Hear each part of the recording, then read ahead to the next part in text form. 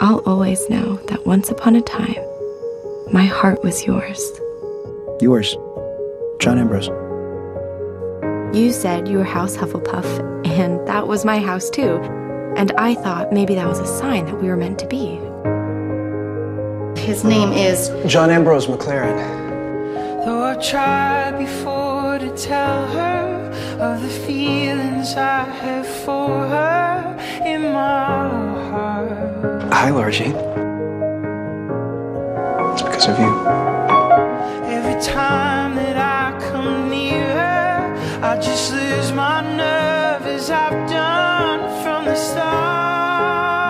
I wanted to ask you to the sixth grade dance. She does is magic.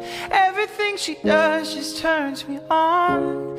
Even though my life before was tragic, now I know my love for her goes on. And that's when I knew. I knew it all the way down to my candy red sneakers. I love you, John Ambrose. I really love you.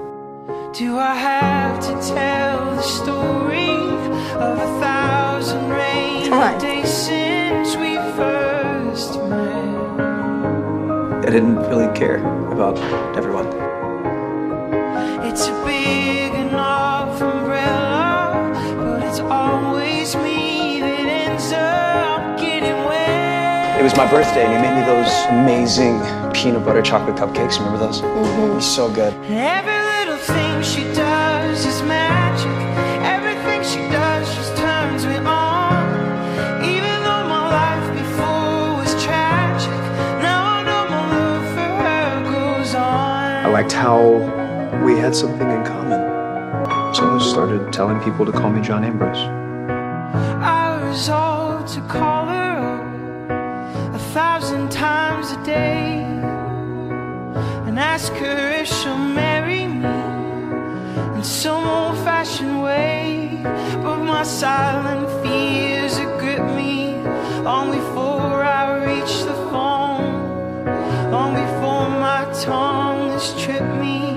Must I always be alone? Are we good, John? Ambrose.